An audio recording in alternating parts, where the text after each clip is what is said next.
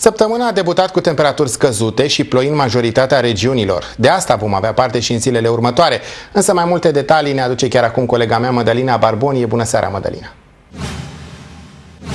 Găsit, doamnelor și domnilor, vreme extrem de capricioasă. Temperaturile rămân destul de scăzute și în zilele următoare.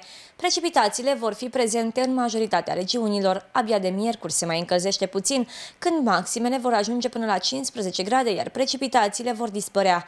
Până atunci vom simți temperaturi diurne de maxim 12 grade, iar minimele se vor încadra între 1 și 5 grade.